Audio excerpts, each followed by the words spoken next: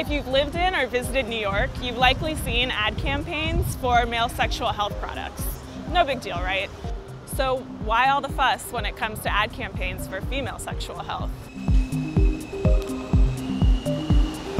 Let's take a step back. Before any ad can run in the New York City public transportation system, it has to be approved by the MTA. But before your ad is presented to the MTA, it has to go to Outfront Media, the company that manages most of the MTA's advertising and enforces its guidelines.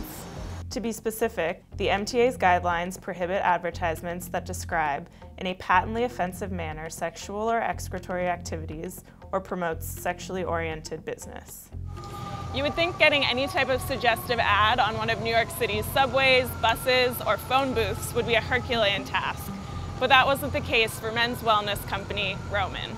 We were very intentional to not use any phallic imagery, but to exclusively use medical language, and we worked with both the MTA, uh, Outfront, and our medical advisory team, which includes heads of departments at Cornell, Columbia, NYU uh, US Surgeon Generals to make sure that we were speaking about it in an intelligent way, paired with some humor to sort of break down that stigma as well. Having said that, I think it's important to recognize brands that have been able to advertise and, and sort of lay the groundwork for us in a lot of ways. So I think we would not have been able to advertise if Thinx didn't advertise beforehand. So I think they actually broke down a lot of barriers for us, and so I don't want their hard work to be diminished in that sense by saying it was super easy for us. I think it was easier for us because of, of what they were able to do. Let's rewind a bit and give some context.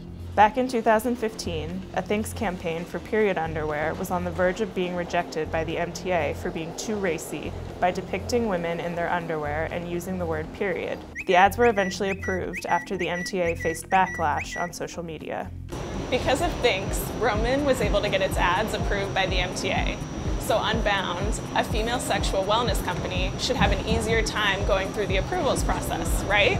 Well, we were actually pretty hopeful because it had just so happened that the Viagra patent expired around the same time we were initially working on the artwork. And when we actually submitted the artwork, there were a bunch of these Viagra startups that also were taking on advertising, specifically Hims and Roman. We felt pretty bullish that it would get approved because we were like, well, if they're approving Viagra ads, like they'll they'll approve ours, which don't even have anything sexually explicit on them. With the MTA specifically, when they came back and said they'd work with us, they said we had to rem- remove all phallic imagery. And yet, Hims has all these like incredibly phallic cactuses in all of their brand imagery for, the, for their campaign. We just were, were confused as to how Viagra could be okay, but what we were doing was not. So, why the double standard? Why do brands like Thinx and Unbound have to jump through hoops and use social media to get their ads approved, when ads for men's products are essentially given a free ride? Why is this deemed more appropriate than this?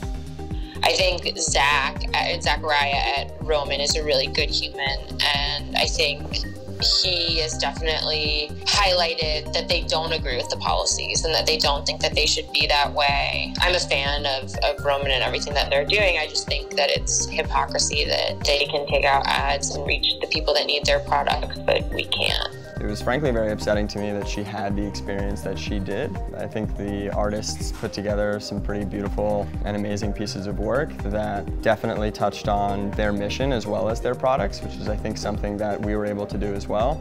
You know, we have a long way to go as a society as well. I think you know Viagra has been advertised on TV for 20 years. Unfortunately, people are far more comfortable um, seeing advertisements for men's health products. As of now, Unbound hasn't had its ads approved by the MTA or by Outfront.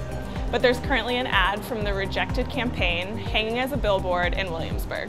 So it seems that this rigorous approval process hasn't stopped Unbound from trying to get their message or their ads out there.